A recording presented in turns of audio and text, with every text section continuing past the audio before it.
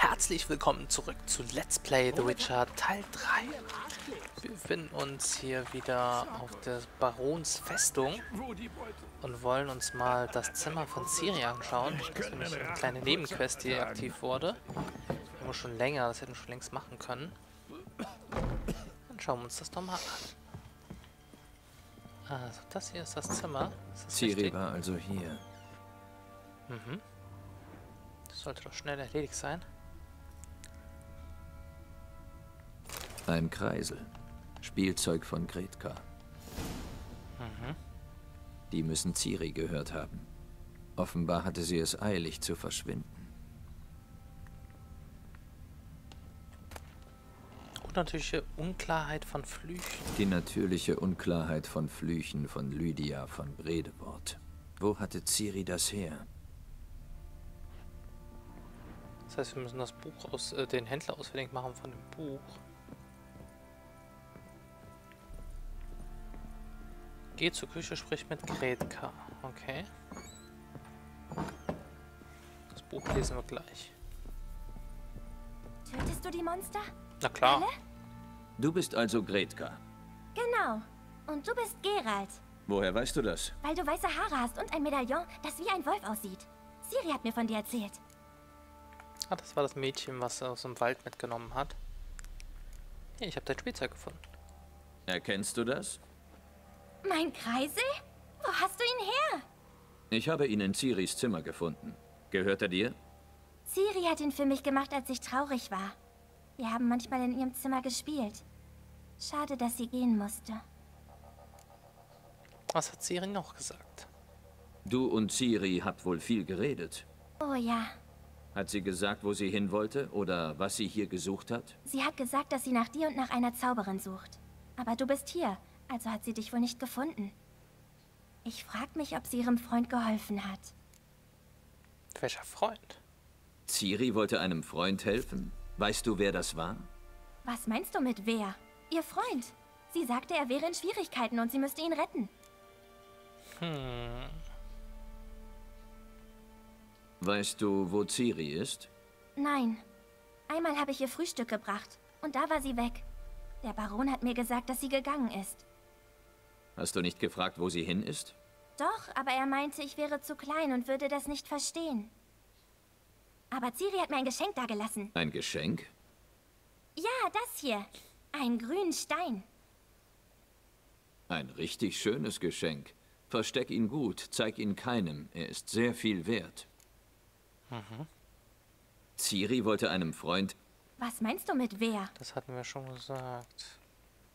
Danke, Gretka. Viel Spaß. Aber ich spiele nicht. Ich helfe. Das hat uns nicht wirklich weitergeholfen. Schauen wir uns mal dieses Buch an. An meine lieben Freunde Philipp und Anna von Graf Laguerre oder so ähnlich. Kulturminister des Königreichs Demerien. Visima 1265. Wer da meint, dass sich in Flüchen ausschließlich die bösen Absichten eines Wesens einem anderen gegenüber manifestieren, der irrt sich gewaltig. So sind Berichte über unfreiwillige Verfluchungen der eigenen Person sowie von Objekten in der Umgebung erschreckend verbreitet. Die Konsequenzen sind schwer vorherzusagen. In vielen Fällen sind sie gravierend und können sogar den Tod desjenigen bedeuten, der von dem Fluch getroffen wurde oder Zeit mit den verfluchten Objekten verbringt. Daher ist es, wicht ist so wichtig, möglichst sorgfältige Schutzmaßnahmen gegen Flüche zu treffen. Als absolutes Minimum empfiehlt Madame Amelia Veracruz-Leon Reinigung von allen negativen Gedanken, Anstreben von Eins Einssein mit der Welt, Erreichen von Harmonie zwischen Körper und Geist.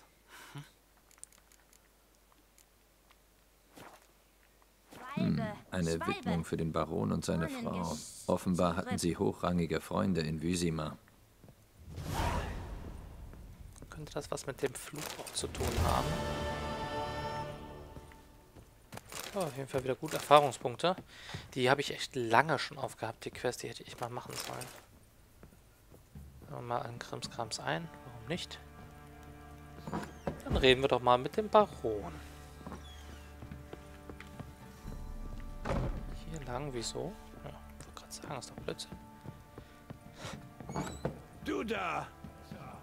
Das ist gestern wohl auch etwas. Ah, der Baron ist beim Grab, deswegen. Ja, gut. Deswegen raus. Halt, war das hier? Nein, war es nicht. Da ist die Abzweigung.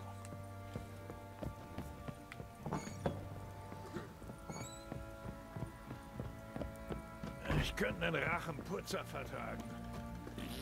Hexer, auf ein Wort bitte. Was gibt es? Was gibt es? In der Nacht, als der Baron allen befahl, die Türen zu verriegeln und drinnen zu bleiben, was habt ihr, der Baron und du, getan? Da musst du den Baron fragen. Apropos, wo steckt er eigentlich? Im Garten. Seit neuestem sitzt er stundenlang im Garten. Betrunken? Nein, er trinkt und isst nichts, sitzt nur da. Tja, der trauert.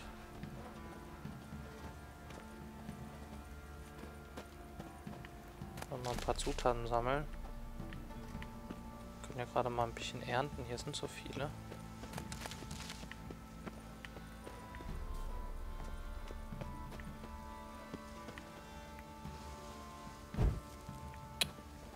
Dahinter wollte ich ja. Hier bist du also. Siehst du die Stockrose hier? Die violetten Blüten habe ich aus Nasair mitgebracht. Anna hatte etwas darüber gelesen, wollte sie unbedingt haben. Sie hat sich stundenlang um sie gekümmert. Sie war so glücklich dabei. Und diese da, die gefüllten? In Serikanien werden sie Paradiesvögel genannt. Aber Tamara nannte sie Paradiesdrachen. Sie hat sie geliebt. Eine Schande, dass ich nie erfahren werde, welche Blumen der am liebsten gehabt hätte. Aber gut, dass ihre Seele frei ist.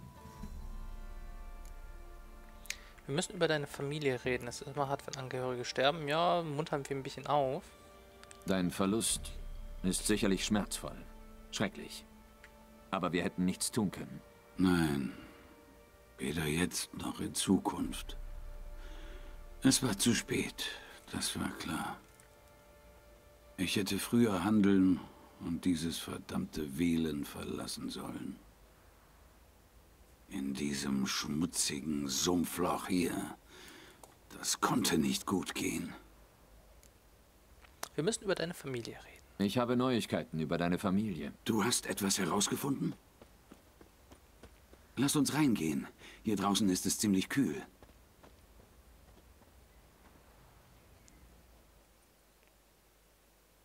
Gibt es Neuigkeiten? Deine Tochter ist in Ochsenfurt. Was zum Henker? Geht es ihr gut? Ist sie gesund? Ist sie sicher? Warum hast du sie nicht mitgebracht? Das habe ich nie angeboten. Du sagst, dass sie sicher ist. Hast du sie denn gesehen? Nein, ich sprach mit ihrem Fluchthelfer, der sie auch aufgenommen hat. Tamara ist wohlauf. Soweit ich verstanden habe, will sie dich weder wiedersehen noch zurückkehren. Ich traue keinem Bauerntölpel, der ihr vielleicht geholfen hat. Ich muss wirklich wissen, dass sie sicher ist. Geh zu ihr. Überzeug dich, dass sie sicher ist. Ich glaube keinem anderen. Nicht in Frage. Pff, klar, das können wir machen. Weitere Quest. Obwohl, wenn ich sage, kommt nicht in Frage, vielleicht gibt er mir dann dafür Geld. Ach komm, ich gehe zu ihr. Na gut, das mache ich. Ich bin dir dankbar. Nimm diesen Anreiz. Und das hier könnte nützlich sein. Was ist das? Ein Geleitbrief. Seit die Redanier sich des Pontatals bemächtigt haben, ist es verdammt schwierig, Novigrad ohne Geleitbrief zu erreichen. Also gut. Du solltest sie beide finden. Was ist mit Anna? Die habe ich noch nicht. Aber ich bin ihr auf der Spur. Also, worauf wartest du dann? Dass du mir was über Ciri sagst, wie vereinbart. Na gut. Ein Mann, ein Wort. Während Ciris Genesung haben wir sie auf die Jagd mitgenommen. Bisschen galoppieren, um nach der Bettruhe die Glieder wieder zu lockern. Dein Mädchen ist ein Glückspilz. Ein Wildschwein dieser Größe zu erlegen, Wäre eines Festmahls König Volltests würdig, wäre er noch am Leben. Ciri, komm! Dir sollte die ganze Keule gehören, finde ich. Und ob. Ausgezeichnet, Mädchen. Nicht schlecht. Aber wer geht mit einem Schwert auf Wildschweinjagd? Bogen oder Speer waren nicht vorhanden, da blieb mir nur mein Schwert. Nun, du hast es schön geschwungen. Wo hat man dir das überhaupt beigebracht? Kermon. Geben ein bisschen In an. Kaer Morhen. Dort gibt es eine Hexerschule, ja, aber soviel ich weiß, nehmen sie nur Jungen auf. Bin die Ausnahme. Ich bin keine Hexerin. Stimmt, du bist keine Mutantin. Ich bin keine Hexerin. Ich bin nur dort aufgewachsen. Glaube ich dir aufs Wort. So wie du das Schwert schwingst. Kennst du dich mit Tränken aus? Nicht so gut. Nur ein bisschen. Weißt du, manchmal zwickt's mich im Rücken. Halt's Maul, Igrin. Niemand interessiert sich für deinen Rücken. Manche Frauen können Schwerter schwingen, ich kenne da eine. Aber Pferde können sie nicht besteigen, nur Schwänze. Sie reiten wie beschwipst, kein Wunder, wenn sie immer seitwärts aufsitzen. Wollen wir wetten? Denkst du, dass du schneller reiten kannst? Gerne. Worum wetten wir? Um das schwarze Pferd. Das im Stall. Oh, das kommt nicht in Frage. Angst vor einem Rennen. Was ist los? Hast du etwa Angst? Nein. Also, was ist los? Das Pferd gehört mir. Oh, Ein Wettreiten gegen den Baron selbst. Was für eine Ehre. Oh, das wird ein unvergesslicher Anblick. In der Tat. Abgemacht. Wenn ich gewinne, bekomme ich dein Schwert. Abgemacht. An deiner Stelle würde ich nichts mehr trinken. Du brauchst einen klaren Kopf. Bei Tagesanbruch geht's los.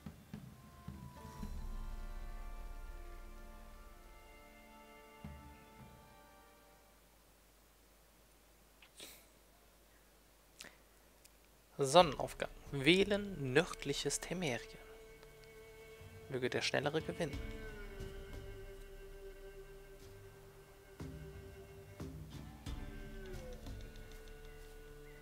Der Morgen dämmert. Bereit? Bereit.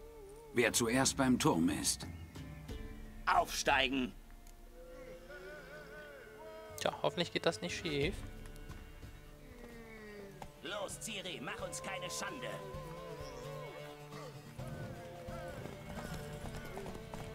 Du bist scharf auf das Pferd, was? Hatte genauso eins. Ich muss auf der Linie bleiben, ist das richtig? Ich hoffe.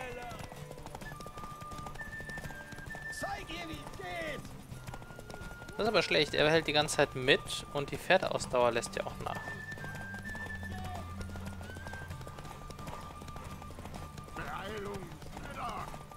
Was passiert, wenn die ganz weg ist? Dann scheut sie. Dann sollte ich da mal anders reiten. Das werden wir ja sehen. Haha.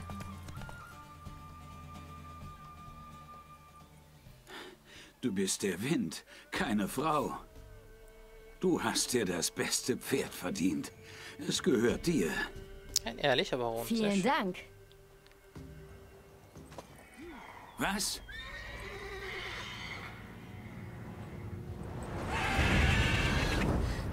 Noch eine Chance zu gewinnen.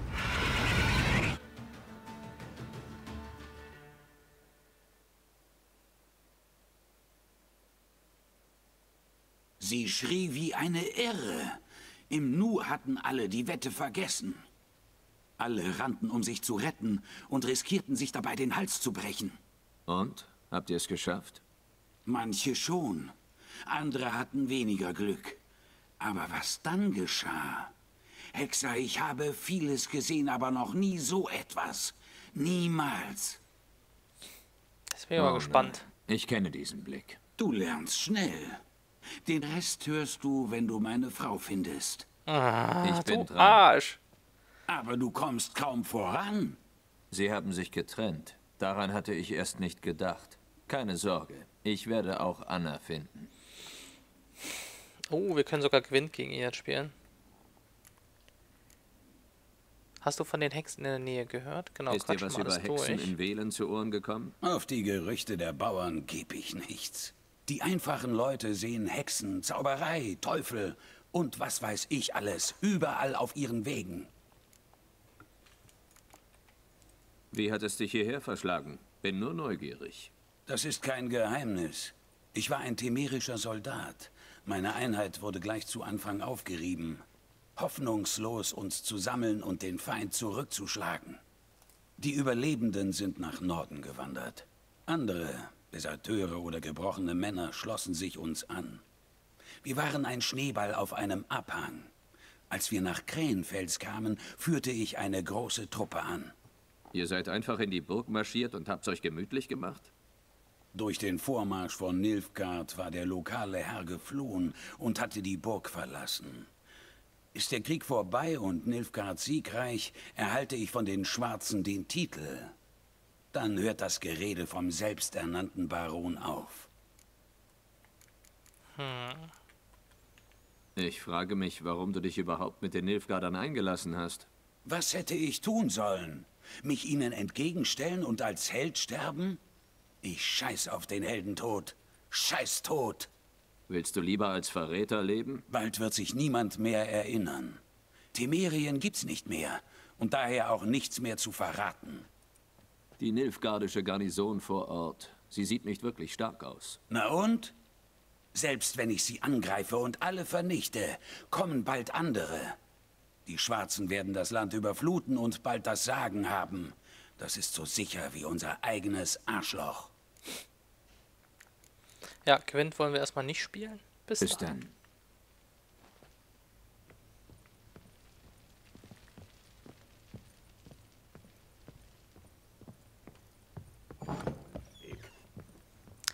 Nach Ochsenford müssten wir jetzt. Das werden wir erstmal nicht machen.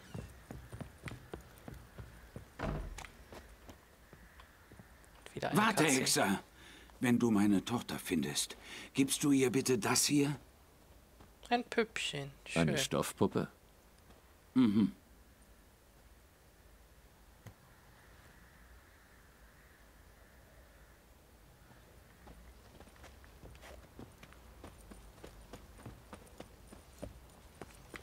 Hier ist noch irgendwo ein Schleifstein. Glaubst du etwa, deine zwei Schwerter können es mit 40 aufnehmen? Na klar. Wenn ich wollte schon. Hey Jungs, Gewürm. wir mal losziehen und uns die Bestie vorknöpfen. Es wird schon Abend. Schau mal kurz Quest rein. Das ist auf 6 hochgegangen. Das ist auch auf 6. Wir machen die wieder abwechselnd. Jetzt habe ich nur die Befürchtung, dass wenn ich das eine mache, das andere gar nicht machen muss oder kann. Nicht, dass sie sich überschneiden. Und beides führt mich vielleicht zum Ziel. Das wäre schade, wenn eins nicht beendet werden könnte. Müssen wir mal gucken. Wildes Herz, hier. Fall des Hauses Stücker. Das sollten wir vielleicht als nächstes machen. Gerards weitere Reise durch das ländliche Wählen führte ihn auch ein Dorf namens Lindenthal. Dort traf er eine gramgebeugte alte Frau. Was war der Grund ihres Kummers? Sie war obdachlos. Ein Monster hatte in ihrem Familiensitz sein Nest gebaut und sie gezwungen, sich etwas zu mieten, bis sie sich das nicht mehr hatte leisten können. Nun bat sie Gerd, ihr Haus von der Bestie zu befreien. Zum Dank gab sie ihm ein kostbares Objekt, den Schlüssel zu einer Truhe, in der sich angeblich all ihre Ersparnisse befanden. Gerhard konnte seine Hilfe der einer alten Dame in Not nicht verwehren. Erst recht nicht, da sie ihn so stattlich entlohnen wollte. So beschloss er zu tun, worum sie ihn bat. Oh, das machen wir doch glatt. Hoch, hier ist auch nochmal ein Anschlagbrett, das sollten wir uns anschauen. Scheint es neue Quests zu geben. Ah, Lindenthal. Da begeben wir uns gleich mal hin. Waren wir da noch gar nicht? Ich glaube, da waren wir sogar schon gewesen. Ah. Alte vom Schmied? Keine schlechte Idee.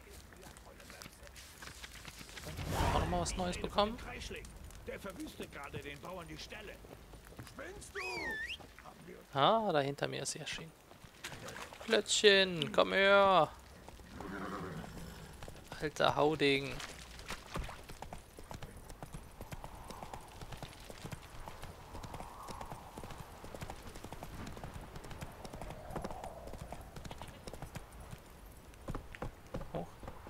Kann ich da aus? Los, los!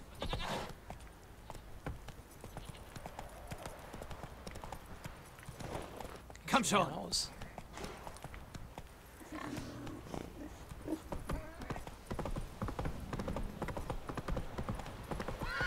Womit habe ich nur verdient, dass du mir am Arsch klebst?